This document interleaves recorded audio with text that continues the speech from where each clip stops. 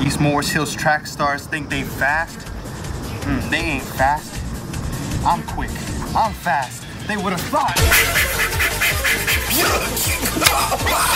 Yo, these vatos don't even know how really quick I am, bro. My baby mama waiting for me. Oh my god, the cops. Oh, they're after me. Oh, oh, oh no. Hey man, Flash be thinking he's so fast and all, running around playing like a second, bro. I can like fly through the freaking air, bro.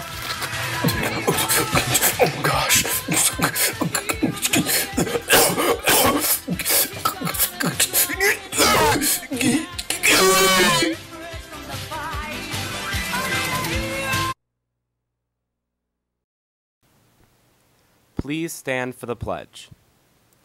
I pledge allegiance to the flag of the United States of America and to the republic for which it stands, one nation, under God, indivisible, with liberty and justice for all.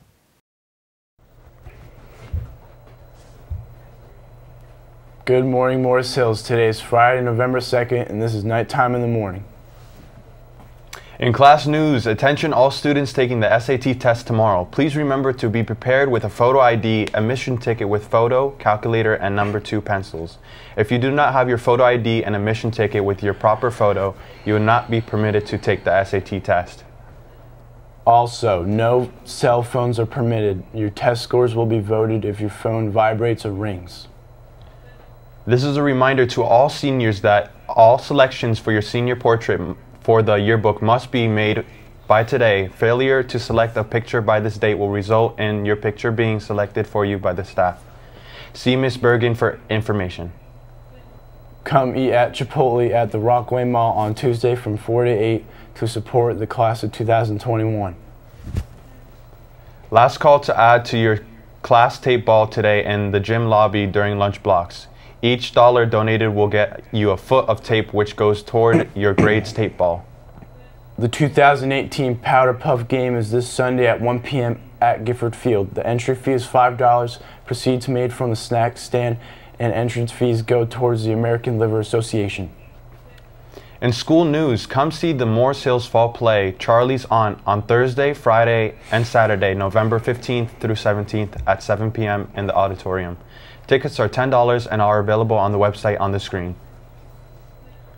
The Key Club is collecting box stuffing and canned cranberry sauce for Thanksgiving Day donations. Any items can be dropped off in room 222 to Mrs. Malupis with your name on it.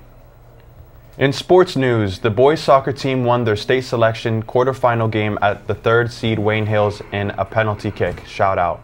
The game was tied after double overtime with PKs by Chris Grilk, Devin Musier, and Brian Osario with Frankie Mastras made the save for the win.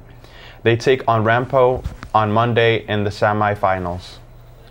And speaking of playoffs, the boys soccer team wishes the football team good luck in their state game tomorrow, which will be played at home at 2 p.m. on Gifford Field. Come up and support your Scarlets Knights as they take on Wayne Valley. Go Knights! There will be no computers block 7B and 7C and limited computers all day in the library.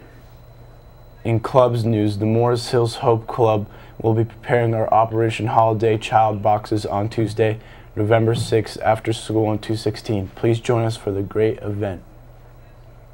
There will be a 30 minute DECA meeting on Thursday, November 13th in room 247 at 3.05 p.m. Please be prompt. You must have your regional event chosen and your regional permission slip. And finally, got a few grades below 80, looking to join a club, academic decathlon and in need of members for its varsity team. You will learn new things while adding that needed boost to your college application. Contact Mrs. Santucci for info.